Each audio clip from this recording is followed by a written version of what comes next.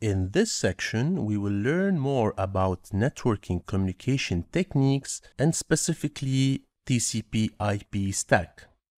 In this video, we will introduce the OSI model. The OSI model or the Open Systems Interconnection model is a conceptual model that standardizes the communication functions of telecommunication between computing systems without regard to its underlying internal structure and technology. The main goal is interoperability of diverse communication systems with standard protocols.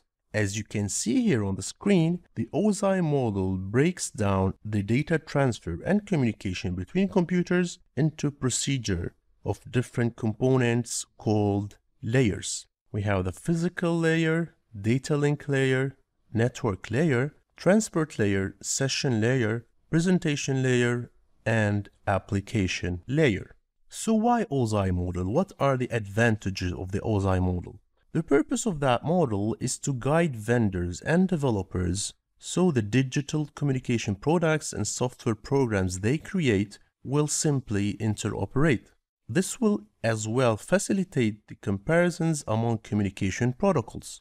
Most vendors involved in telecommunication make an attempt to describe their products and services in relation to the OSI model. On top of that, it became the de facto model for IT professionals and students to learn about communication over the network.